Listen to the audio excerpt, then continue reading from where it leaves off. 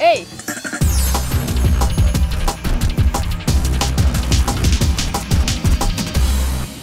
Meu nome é Lincoln Ferreira da Cunha, sou tabelião do primeiro ofício, ex-prefeito por duas vezes a cidade. Dizem os entendidos que aquele bloco ali era um bloco só. Então que a natureza levou milhares e milhares de anos para construir esse monumento.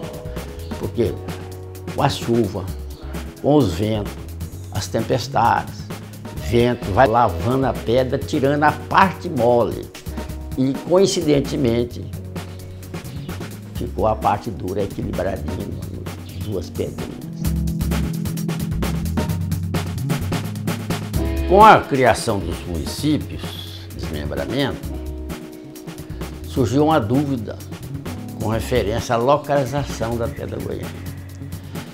A Pedra Goiana está situada em cima da Serra Dourada, bem na divisa de Moçambique com Goiás.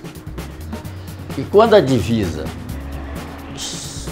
de uma greba de terra ou do município com outro está em cima do morro, a lei fala que a linha divisória é por águas vertentes. Então, o IBGE localizou a Pedra Goiana pertence ao município de Moçambique, não de Goiás. Esses jovens de Goiás, de famílias tradicionais, nós chamamos vândalos, eles vieram aí com essa intenção, dizendo, se a pedra não é nossa, também não vai ser deles. Nós vamos lá derrubar uma pedra. No trecho que eles vieram mostrando, do entroncamento para trás, eles pegaram um soldado, um passageiro, que era do destacamento policial de Moçambique.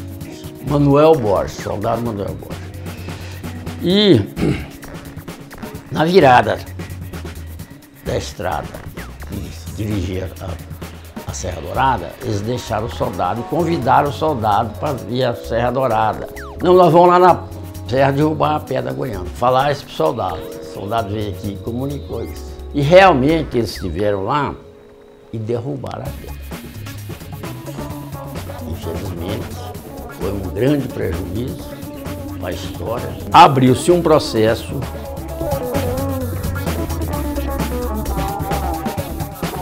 alegaram lá no processo que a pedra não foi tombada, a pedra, a pedra caiu acidentalmente. Também o seu advogado bem orientado disse que a pedra, apesar de famosa, ela é uma pedra que não tinha registro histórico. Então, esse processo não deu em nada.